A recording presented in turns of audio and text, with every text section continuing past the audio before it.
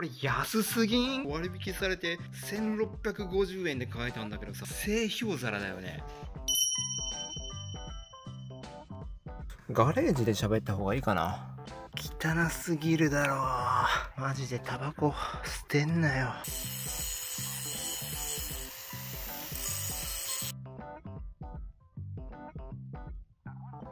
うわめっちゃいいじゃん妻さんの初めてのメイン PC が Mac になったんですよね。1人1台もしくは2台持つようなこの時代にパソコンなんて一家に1台あれば十分じゃんって言ってた女性なんですけどそんな女性が Mac を使うことになりました。ケースケースに入れるから。いかんやん入らんやん。入らへん。ね閉まった。入らんね。うん。あるかな。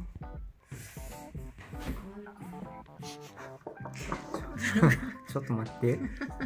ブロブロブログ収益化のコツって。いやなんかやろうかなって。そうそうそう。なんで？YouTube みたいに顔出ししたくないでしょ？ああそうやね。うん。まあこうやって出てるけどね。どう Mac 使ってみて？Windows と違う、全然違う。全然違う。だからさ多分デザインとかやる人がいいんだろうね。うん。だからせっかくだからなんか覚えてみたいなとは思うけど。で収益化したいってことね。Windows しか使ったことがないんでやっぱり難しいというか使いこなすにはちょっと時間がかかりそうです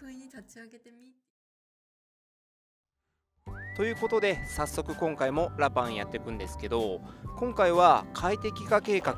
ということでまずはバケットシートに交換します。実は軽度の本当に軽い腰痛持ちなんですけど長時間運転してると腰がピリピリ痛くなってくるんですよね。運転自体はすごい好きなんですけど腰が痛くなってくると姿勢が悪くなって今度は足が痛くなってくるという具合にちょっとよろしくないんでシートをバケットタイプのシートに交換します。交換方法はシートレールがネジ4つで固定されてるだけなんで単純に入れ替えるだけですね。説明するほどのことでもないです。ラパンのシートがいいとか悪いとかじゃなくてバケットシート座ったことがある方ならわかると思うんですが腰の痛みがまるで違うんすよね。汚すぎるだろう。やばいって。ほんとね前のオーナーなのか前々オーナーなのかわかんないんですけどタバコが結構丸々落ちてるんすよね。長年の積もり積もったゴミが取れて綺麗になるっていうのは気持ちがいいですね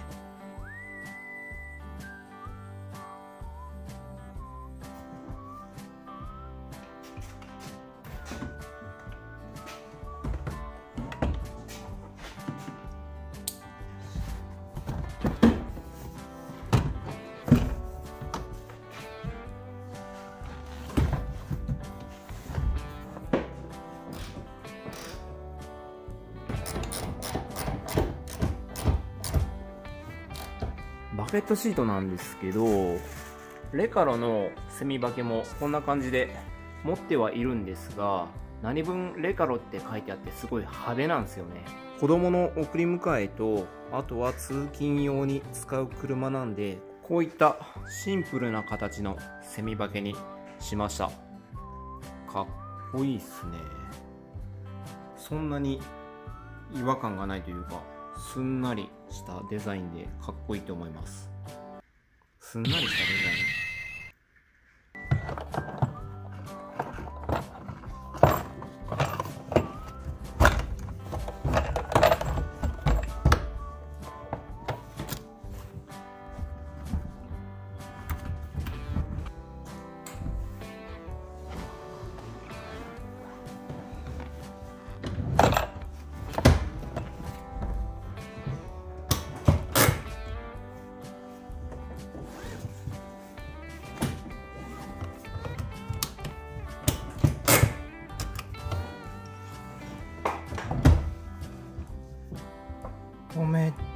いいな。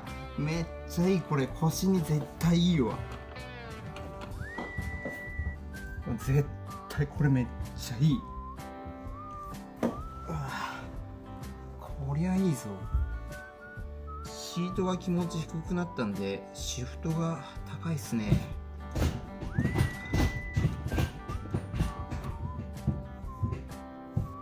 いいね。ちょっとドライブ行きたいな。ということで、ラパン SS なんですけども、バケットシート入れまして、もう2週間ぐらい経つんですよね。バケットシートを入れたレビューをね、していけたらなと思います。車に乗るとか、車を運転するとか、ドライブするとか、そういうの大好きなんですけど、長時間車に乗ってると腰が痛くなっちゃうんですよね。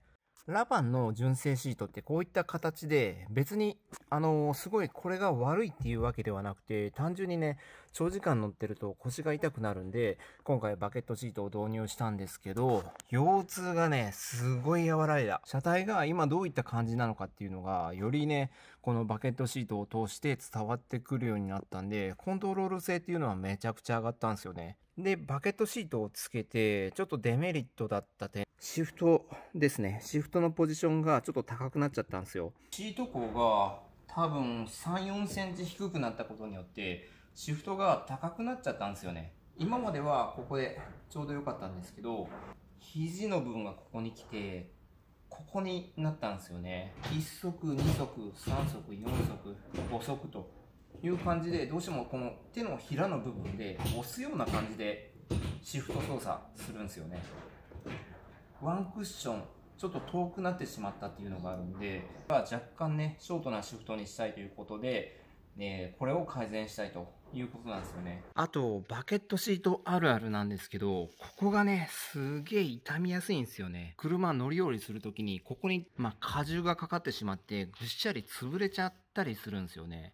こう車に乗るときは、どっしんとね、座るだけなんで、ほとんどここにストレスはかかってないんですけど、降りるときはどうしても足を出して、ハンドル持って、で、ハンドルに力を込めて、体重を浮かすような感じで降りてるんですけど、どうしてもね、ここだと力が逃げちゃうんですよね。助手席だとこういう風に取っ手があるんですけど、運転席って大体取ってないんですよね。ただ、こういった感じで取っ手のゾーンがうっすらねあるんでもしかしたらここめくってみたらこの取っ手自体はここにネジ2個で止まってるはずなんですけどここもねそのサービスホールあるんじゃないのかなと取っ手をつけたいなって思ってるんですよね。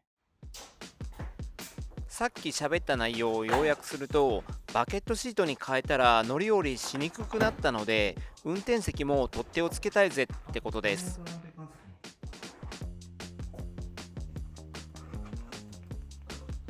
あ折れちゃったじゃんマジか。いややっぱり経年劣化というかこういうプラスチックパーツ樹脂パーツは仕方がないと思うんですけど折れちゃった。見てみますと。ない。ネジ穴じゃない。ネジ穴じゃないものがあるよちょっと助手席ばらしてみるか。外すの前提じゃない作りやめてほしいなで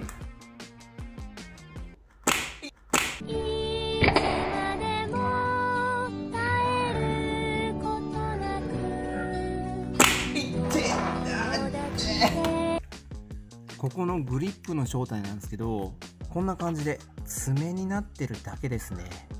で爪をここにガチャンとはめてさっきの一番最初のクリップを真ん中に入れることによって爪ががっちり広がって抜けないという作りですね。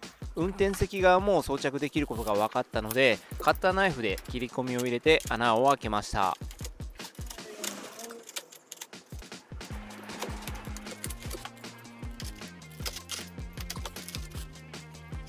つくはずだよ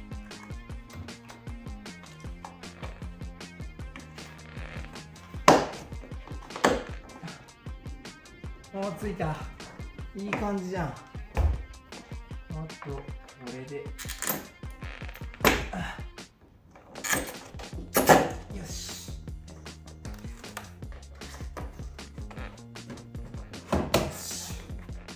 おおいいねいいね。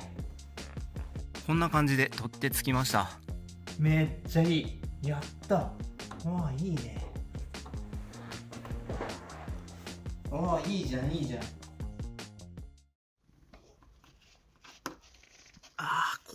理か。太すぎる。太いお兄ちゃん。お兄ちゃん太い。続いてシフトロッドこれのネジ切りをここまでやって実際にショートストロークというよりはショートシフトにしていきたいんですけど。うんやっぱそうだ。M12 の1.25のネジピッチで、これを今からネジ切りしていきたいんですけど、からね、めちゃめちゃ太くなってるんで、サンダーでちょっと外周を削って、それからね、このネジ切りでネジをここまで切って、短くしていきたいと思います。このフロアシフトをネジ4つ外して、あと、これがミッションにつながってると思うんですけど、ここを外して、反対側のこっち側もワイヤーがこのピンで止まってるだけなんで、これを外せば簡単に取り外しできそう。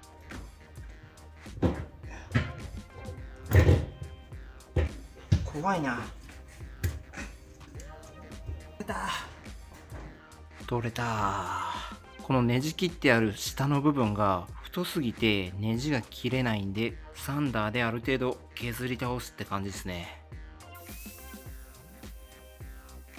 ディスクグラインダー使ってガンガン削っていきます削るまでは硬そうだなとか思ってたんですけど思いのほかそうでもなくてガリガリいけましただいたい10分ぐらいかかった感じですね削れましたこれであとはひたすらネジ切りをしていけばネジが切れると思うんですけどねじゃあ多分こっから肉体労働になっていくと思うんですけど、頑張ります。切り子がシフトに落ちるのが嫌なんで。いやー、しんどいだろうなダイスを使ってネジの溝を切っていきます。まあ、ここら辺は今、ネジ切れてるところなんで大丈夫だと思うんですけど。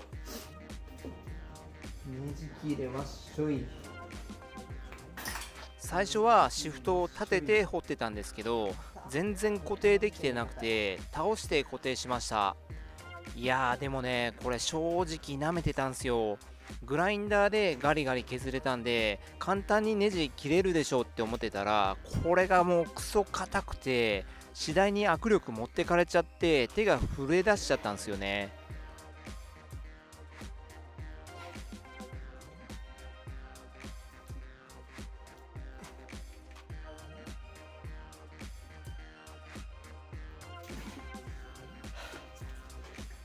このダイスを固定するネジがえぐれてきますわ。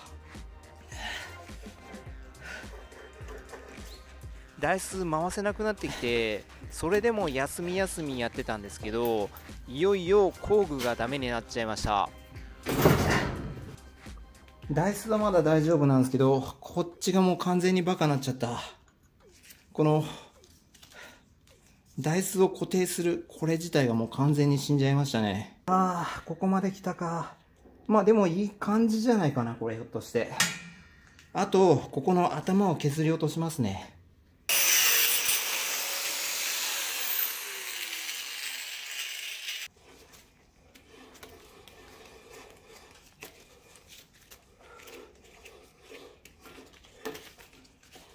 よっしゃ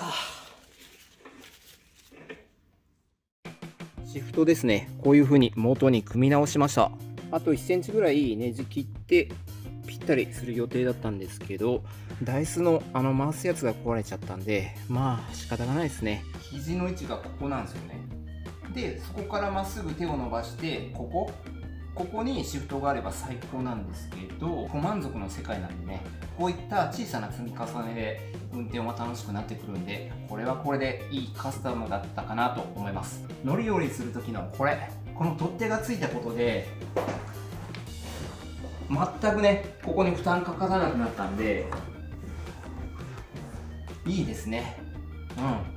あとはこのシートがね早回しできてあーって寝ることができれば最高なんですけどまあそれはそれでもうできないものもできないんで仕方がないと諦めるしかないですね。いやでも本当にこの取っ手がついたことによって乗りより圧倒的にしやすくなったんで良かったですね。ということで今回の動画は以上となります。今回も動画のご視聴ありがとうございました。また次回ね、えー、ラパンの動画どんどん続くと思うんですけどもよければチャンネル登録して見ていただければなと思います。そんな感じでまたね